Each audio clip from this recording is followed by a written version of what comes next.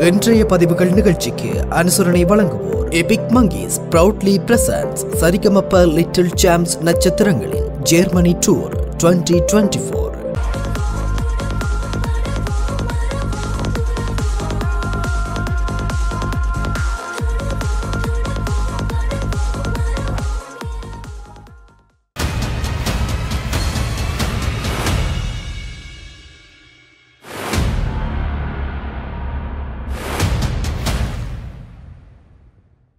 வணக்கம். மற்றும் ஒரு இன்றைய பதிவினூடாக இணைந்திருக்கின்றோம். காசாவில் அவசர போர் நிறுத்தம் ஒன்றுக்கு ஐநா பாதுகாப்பு சபையில் தீர்மானம் ஒன்று நிறைவேற்றப்பட்ட போதும் காசா மீதான இஸ்ரேலின் தாக்குதல்கள் தொடர்ந்தும் இடம்பெற்று வருகின்றன. பாதுகாப்பு சபையின் நிரந்தர அங்கத்துவம் பெறாத நாடுகளால் கொண்டுவரப்பட்ட இந்த தீர்க்கமான பதினைந்து அங்கத்துவ நாடுகளில் பதினான்கு நாடுகளின் ஆதரவுடன் நிறைவேற்றப்பட்டது. இதுவரை போர் நிறுத்தம் ஒன்றுக்கான நகல் தீர்மானங்கள் மீது தனது வீட்டோ அதிகாரத்தை பயன்படுத்தி வந்த அமெரிக்கா கடந்த திங்கட்கிழமை நியூயார்க்கில் இடம்பெற்ற இந்த வாக்கெடுப்பில் வாக்களிக்காமல் தவிர்த்து கொண்டது. இதனை அடுத்து காசா போரையொட்டி அமெரிக்கா மற்றும் இஸ்ரேலுக்கு இடையிலான முருகல் அதிகரித்துள்ளது. இஸ்ரேலிய தூதுக்குழு ஒன்று இந்த வாரம் அமெரிக்காவுக்கு விஜயம் மேற்கொள்ளவிருந்த நிலையில் இஸ்ரேலிய பிரதமர் பெஞ்சமின் நெத்தன்யாகு அந்த பயணத்தை அதிரடியாக ரத்து செய்துள்ளார். அமெரிக்கா தனது கொள்கையை கைவிட விட்டிருப்பதாக நெத்தஞ்சாக குற்றம் சாட்டினார். காசாவில் கடந்த அக்டோபர் மாதம் ஏழாம் தேதி போர் வெடித்தது. தொடக்கம் இன்று வரை அமெரிக்கா போர் நிறுத்தம் ஒன்றுக்கு அழைப்பு விடுவிக்க மூன்று தீர்மானங்கள் மீது வீட்டோ அதிகாரத்தை பயன்படுத்தியது. மேலும் இரு தீர்மானங்கள் மீது ரஷ்யா மற்றும் சீனா தமது வீட்டோ அதிகாரங்களை பயன்படுத்தின. இந்த நிலையில் நிறைவேற்றப்பட்டிருக்கும் தீர்மானத்தில் ரம்லானின் எஞ்சிய இரண்டு வாரங்களிலும் உடன் போர் நிறுத்தம் ஒன்றை அமல்படுத்தவும் அனைத்து பணிய கைதிகளையும் உடனடியாகவும் நிபந்தனையொன்றையும் விடுவிக்கவும் அழைப்பு விடுக்கப்பட்டுள்ளது. இன்றைய தீர்மானத்தின் மூலம் நமது பணைய கைதிகளை விடுவிக்காது. போர் நிறுத்தம் ஒன்றை ஏற்படுத்துவதற்கு இஸ்ரேலுக்கு சர்வதேச அளவில் அழுத்தம் ஏற்படும் என்று ஹமாஸ் நம்புகின்றது. அது போர் முயற்சி மற்றும் பணைய கைதிகளை விடுவிக்க முயற்சி இரண்டுக்கும் பாதகமாக அமையும் என்று நெத்தஞ்சாகு அலுவலகம் வெளியிட்ட அறிவிப்பில் சொல்லியிருக்கிறது.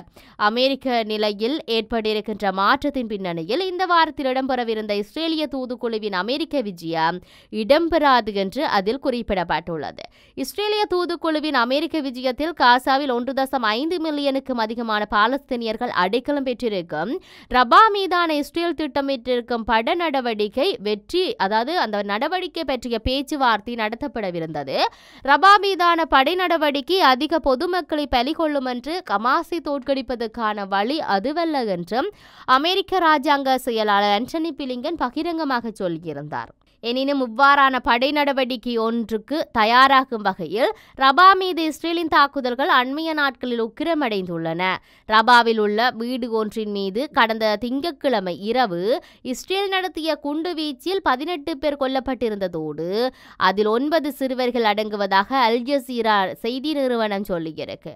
வடக்கு கிழக்கு ரபாவின் நாசீர் பகுதியில் இஸ்ரேல் நடத்திய சரமாரி செல்வீச்சில் மேலும் பலர் கொல்லப்பட்டிருப்பதாக அங்கிருந்து வரும் செய்திகள் தெரிவிக்கின்றன ஹான் யூனிஸ் மற்றும் காசா நகருக்கு அருகில் மருத்துவமனைகளை சூழ கடும் மோதல் நீடித்து வருகின்றன. இஸ்ரேலிய எல்லை நகரங்களில் ராக்கெட் குண்டு தாக்குதல் தொடர்பில் எச்சரிக்கும் சைரன் ஒலிகளும் எழுப்பப்பட்டுள்ளன.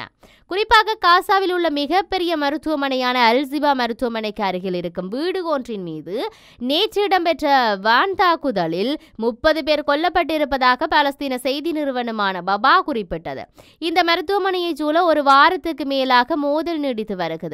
மறுபுறம் ஆயிரக்கணக்கான மக்கள் அடைக்கலம் பெற்றிருக்கும் நாசர் மருத்துவமனையும் இஸ்ரேலிய டாங்கிகள் மற்றும் கவச வாகனங்கள் சுற்றி வளைத்திருப்பதாக அங்கிருந்து வருகின்ற செய்திகள் சொல்லுகின்றன. இந்த மருத்துவ வளாகத்துக்குள் நுழைவதற்கு தயாராக இஸ்ரேலிய துருப்புக்கள் துப்பாக்கிச் சூடு மற்றும் செல்வீச்சுக்களை நடத்தி வருவதாக ஹாசா சுகாதார அமைச்சு குறைப்பட்டுள்ளது. ஆயிரக்கணக்கான இடம்பெயர்ந்த மக்கள் அந்த மருத்துவமனைக்குள் இருப்பதாகவும் அங்கு சொல்லப்பட்டிருக்கிறது. மறுபுறம் காசாவில் உணவு பற்றாக்குறை நீடிக்கும் சூழலில் பல நாடுகளும் அங்கு வானிலிருந்து உணவு உதவிகளை வீசி வருகின்றன. அவ்வாறு கடலில் விழுந்த தொகுதியை பெறும் அதாவது அந்த உதவி தொகுதியை பெறும் முயற்சியில் ஏழு பாலஸ்தீனியர்கள் மூழ்கி பலியாகி இருப்பதாக காசா சுகாதார அமைச்சை மேற்கோள் காட்டி ஏஎஃப்பி செய்தி நிறுவனம் வந்து அந்த செய்தியை வெளியிட்டிருக்கு. உதவிகள் கடலுக்குள் விழுவதை அடுத்து காசாவின் அல் சுதானியா கடற்கரையில் இருந்து அதனை பெறுவதற்காக நூற்றுக்கணக்கானவர்கள் கடலுக்குள் நீந்தி சென்றதை அடுத்து வைத்து கடந்த திங்கட்கிழமை ஏழு பேர் காணாமல் போனர். உதவிகளை வழங்குபவர்களுக்கு எல்லைகள் வழியாக அவற்றை ஏன் வழங்க முடியாது என்று அந்த உதவி பெறுபவர்களுக்கு கடலில் நீந்தி சென்ற முகமது சுபை கேள்வி எழுப்பினார்.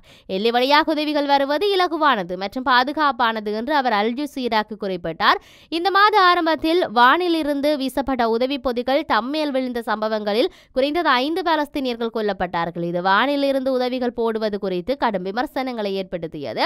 காசாவில் கடந்த இருபத்தி நான்கு மணி நேர நேரத்தில் எண்பத்தி ஒரு பாலஸ்தீனியர்கள் கொல்லப்பட்டு தொண்ணூற்றி மூன்று பேர் காயமடைந்திருந்ததாக காசா சுகாதார அமைச்சு நேற்று குறிப்பிட்டது. இதன்படி காசாவில் கொல்லப்பட்ட பாலஸ்தீனியர்கள்ட்ட எண்ணிக்கை முப்பத்தி இரண்டாயிரத்தி நானூற்றி பதினான்காக அதிகரித்துள்ளது.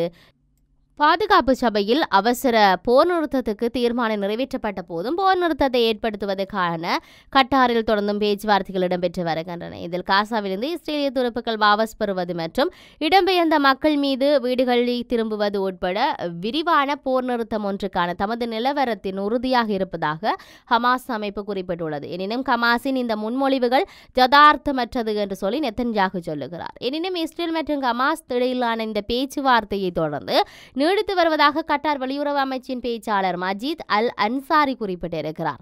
முதல் நாளில் இருந்தும் தாம் சாதகமான சூழலில் உற்சாகமாக உள்ளோம் என்று செய்தியாளர் சந்திப்பு ஒன்றில் குறிப்பிட்ட அவர் இந்த பேச்சுவார்த்தையில் காவலரை காலவரை ஒன்று இல்லை என்று சொல்லியும் சுட்டிக்காட்டியிருந்தார். எமது மத்தியஸ்த முயற்சி தொடர்ந்து முன்னெடுக்கப்படும் அதனை பிராந்திய மற்றும் சர்வதேச தரப்புகளுடன் நாம் ஒத்துழைப்புடன் செயற்படுத்துகிறோம் என்றும் அவர் சொன்னார். எனினும் பாதுகாப்பு சபையில் கொண்டுவரப்பட்ட தீர்மானம் காசா போர் சூழல் மற்றும் பேச்சுவார்த்தை மேடையில் இதுவரை எந்த தாக்கத்தையும் ஏற்படுத்தவில்லை. பாதுகாப்பு சபை தீர்மானம் ஒன்றை மீறும் பட்சத்தில் தடைகள் மற்றும் தண்டனைகள் விதிக்க முடியும் என்ற போதும் இந்த தீர்மானம் கடப்பாடு உடையதல்ல என்று அமெரிக்கா சொல்லுகின்றது. இந்த கடப்பாடற்ற தீர்மானத்தின் சில முக்கிய நோக்கங்களுக்கு அமெரிக்கா முழு ஆதரவு வழங்கும் என்று ஐநாவுக்கான அமெரிக்க தூதுவர் லிண்டா தோமஸ் கிரீன்ஃபீல்ட் தெரிவித்தார். அமெரிக்க ராஜாங்க திணைக்கள பேச்சாளர் மத்தியோ மில்லரும் இது கடப்பாடற்றது என்று வலியுறுத்தினார். ஆனால் பாதுகாப்பு சபை தீர்மானம் கடப்பாடுடையது என்று ஐநாவுக்கான சீன தூதுவர் ஷாங் ஜூன் வலியுறுத்தியிருக்கிறார். எனினும் இஸ்ரேல் கடந்த காலத்தில் பாதுகாப்பான சபை தீர்மானத்தை பொருட்படுத்தாமல் செயற்பட்டுள்ளமை குறிப்பிடத்தக்கது. இரண்டாயிரத்தி பதினாறு டிசம்பரில் அமெரிக்க முன்னாள் ஜனாதிபதி பராக் ஒபாமாவின் பதவிக்காலத்தில் கடைசி நாட்களில் பாலஸ்தீனத்தில் இடம்பெறும் இஸ்ரேலிய குடியேற்றங்கள் சட்டவிரோதமானது என்றும் அது சட்டவிரோத அதாவது சர்வதேச சட்டத்தை மீறுவதாகவும் குறிப்பிட்டு பாதுகாப்பு சபை தீர்மானம் அமெரிக்க வாக்களிப்பதை தவிர்த்ததன் மூலம் பதினான்கு வாக்குகளுடன் நிறைவேற்றப்பட்டது. எனினும் அந்த தீர்மானம் இஸ்ரேலால் பொருட்படுத்தப்படவில்லை. பொறுத்து தான் பார்க்க வேணும். இன்னும் இரண்டு வாரங்களுக்கு இந்த போர் நிறுத்தம் என்பது சாத்தியமாக என்பதை. மற்றொரு பதிவினூடாக சந்திப்போம். வணக்கம்.